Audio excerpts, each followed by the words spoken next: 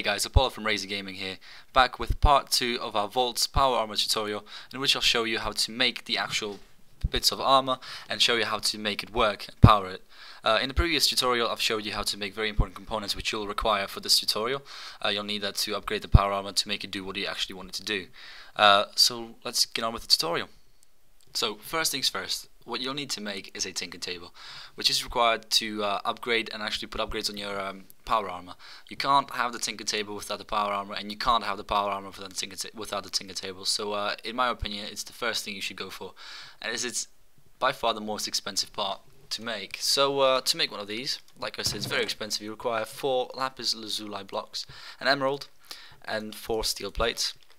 Just like it was in the uh, chest, you just place the steel plates are on the sides like so got lapis lazuli there and uh, emerald there. There you go you've got the tinker table. This is what it actually looks like. I quite like the look of that one. There you go that's the finished product. So in this next station I'll show you how to make the individual parts of the power armor including the uh, power tool. I'll try to get through this as quickly as I can. Uh, they are very simple to make so it shouldn't be a problem. Uh, just so I can get to the tinker table and um, explaining how that works and how you can uh, apply the upgrades to your power armor which is bit more complicated. So to start off with, I'll just make a helmet, steel plates, and basic circuits. These are power armor bits are very simple to, uh, very cheap to make and quite simple. So just for the helmet, just follow that pattern here. Steel plates at the top, basic circuits on the sides, and you've got power power armor helmet. You've got chest piece next. Uh, again, only need steel plates and basic circuits, just like it was in the chest. Place the steel plates on the bottom, one in the middle, top left and right, and the circuits on the sides, and you've got yourself power armor torso. Next bit, you've got legs. Um, we've got again steel plates and basic circuits, just like it was in chest piece. Plates here and on the top, and basic circuits on the sides here, and you've got power armor legs. The boots, probably the simplest part, steel plates, basic circuits, and just like before, place them like so and you've got your power armor boots. And then finally the power tool. You've got basic circuits again and steel plates so that's like I said very simple to make very cheap to make as well. And here's your power tool. So that shows that I've just shown you how to make all the parts for the power armor. And now we move on on how to use a tinker table and how to upgrade each piece of your power armor so now that I've shown you how to make each part of the power armor, including the power tool, I'll now show you how to make how to use them in the Tinker table. Uh, so if you watched the previous tutorial, I've shown you how to make all the important components which are required to upgrade your uh, power armor. So I'll just have them stashed in the uh, chest here. So you've got the servo motors that I've shown you, glider wings, ion thrusters, solenoids, and you've got the different capacitors, the different voltage ones. Now if you click on the Tinker table with any of the power armor parts in your inventory they'll show up on the side here and I'm going to go through what, what they do and how you can upgrade them. So if you click on the helmet for example you've got different things that you can upgrade. So you can upgrade whatever ability you can do so if you can as you can see on the helmet you've got a water electrolyzer. Uh, when you run out of air this module will uh, jolt the water around you electrolyzing a small bubble to breathe from. So basically you can breathe underwater for a bit longer. So I'll show you how to upgrade that. So when you click on the individual upgrade it will show you what you require. So you only need a low voltage capacitor. Now you can install it.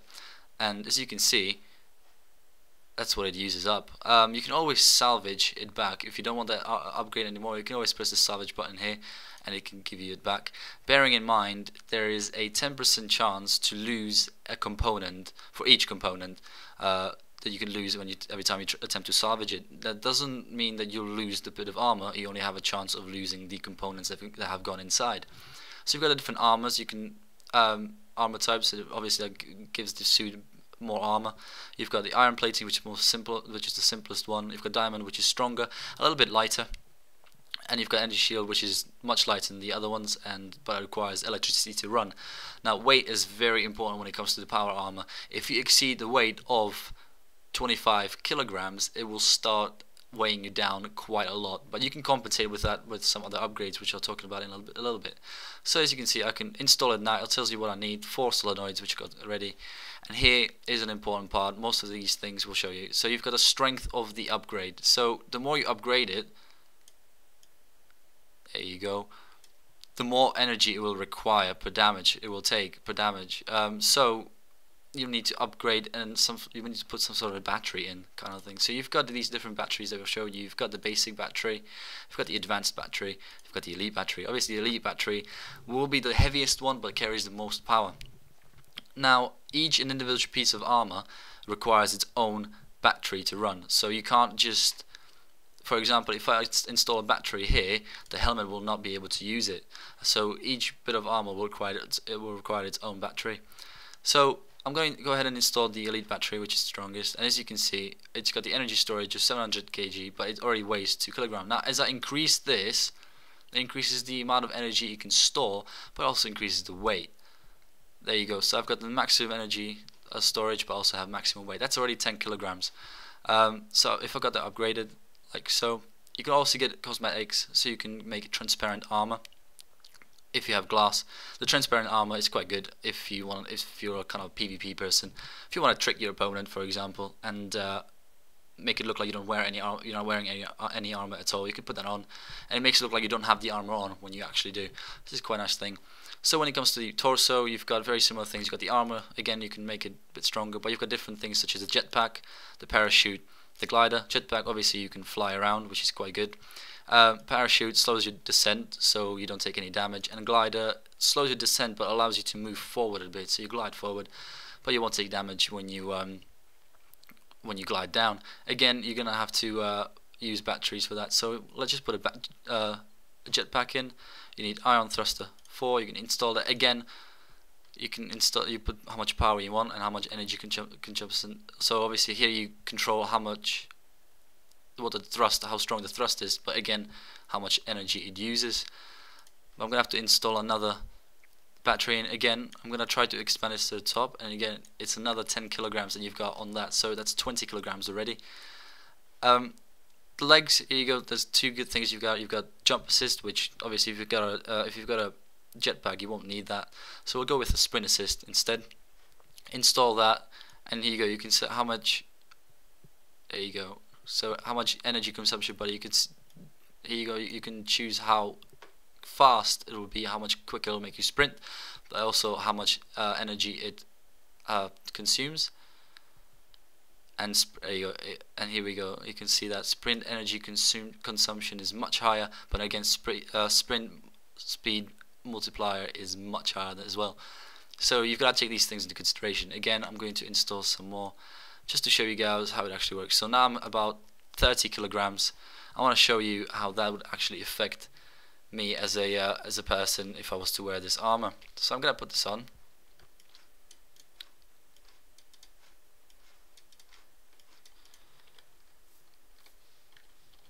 As you can see, I'm moving slightly slower than you would before with the extra weight on top. Now this is uh, that's that's something you need to take into consideration, especially if you PvP. You will be a bit slower, but you know with the speed upgrade, with the sprint upgrade, you can compensate for that quite easily. As you can see, I'm moving much quicker than before. I'm gonna go ahead and turn my creative mode off, just to show you that the jetpack does work. Just by holding Shift, I can fly around and jump around. There you go. Whoa, whoa. Ouch! Took some damage then. But as you can see, the power suit is quite a quite a nice thing to have. I'm going to go back to boots. You've got jet boots, which are basically like the jetpack. So if you're already using that, kind of, there's no point really. So I'd go with the shock absorbers personally. Uh, again, you, you would you'd need wool. The same thing applies to that. Obviously, you need to be careful about what sort of armor you're installing on that, not to weigh yourself down too much. Again, LE battery, you need to install that. Again, you can choose how much you want it to do. There you go, I'll just put that on. And I am actually quite a bit slower than before, simply because I added that extra weight on. But again, you can, because of the sprint, it doesn't really matter that much. Now the final thing is the the power tool. Uh, this one's got actually cosmetics, so you, you, can actually change your armor or that bit of uh, tool in different colors to whatever you want. You can green tint, blue tint, red tint, your lapis lazuli, or cactus green, or rose red. So it's just like a you know nice cosmetic little thing. Now what you can make the tool do, you can make it better at, at being a pickaxe, an axe, so it affects it, better at chopping wood, better at mining, or better or, or you can make it a shovel, which obviously makes it better at digging up uh, things, materials like the dirt and sand, or you can make it like a diamond drill. If you guys use uh, the diamond diamond drill in Tekkit, you can tell that it's much much better. So it's probably one of the best upgrades you can get. Again, you're gonna have to put um, another you go another battery inside it to make it work again. And this one's got a different one aqua affinity which is quite a useful thing I found. It reduces the speed penalty for using a tool under underwater so if you've ever used uh, a mining tool or any tool underwater you'd know that it takes much much longer. So it's a nice thing to have. You can install it again. But if I equip that there you go this shouldn't actually weigh you down too much but uh, I'm, I'm, pretty much I've I think I've pretty much reached the uh, weight penalty. But again, if you've got the sprint, it won't affect you that badly. If you've got jetpack as well, so you can fly around, fly away from danger, not a problem. So that basically shows you guys how to use a Tinker table, how to upgrade it, how to salvage the components should you ever need them to. Like I said, all you need to do is click on the part that you already have in there, you can salvage it. Bearing in mind, like I said before, it, there's a 10% chance that you'll lose that component, not the piece of armor, but the component that you've put in. But that pretty much wraps up the tutorial for the power armor. I hope that you guys found it useful. Uh, so again, this was this tutorial, the power armor tutorial was just uh, as a thank you for, for you guys subscribing and watching and following our tutorials. Um, just a little bit skip ahead. So we'll get back on track after this tutorial, and the next bit we'll just cover some more um, more basic machinery and stuff that you'll find useful around a base. Uh, one thing I'd like to mention is that I'm a part of a gaming community called Razor Gaming. We're recruiting anyone above the age of 16, so if you're looking for a community out there uh, to play with, uh, we play various games. We play Minecraft, we play Arma 2, we play the War Z, we play um, the new game that came, just came out, Warframe. We play everything. Um, so there's it's a very friendly community. You find oh, you always find people to play with us. We've got people from all over the world. Uh, we've got our own TeamSpeak. We've got our own website. So uh, if you guys want to check it out, I'll leave a link to the TeamSpeak so you guys can just you can come on and see if you like it. If you like it, you can always apply at our website, which I'll also leave the link below. We've got a Facebook, a Twitter, so uh, you guys can follow us if you want. So like I said, um, like before in the tutorial and in the other videos, rate, comment, and subscribe if you like the video. Uh, post any suggestions you have for us in the comment box below, or you could just send us a private message if you like. Like I said, again, if you want to check us out, and enjoy the community, check out the links below. Uh, this is Apollo from Razor Gaming, and I hope you guys have a good day.